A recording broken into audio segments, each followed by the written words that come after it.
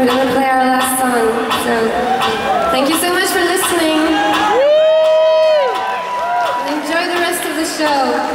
It's probably going to be amazing. Thank you.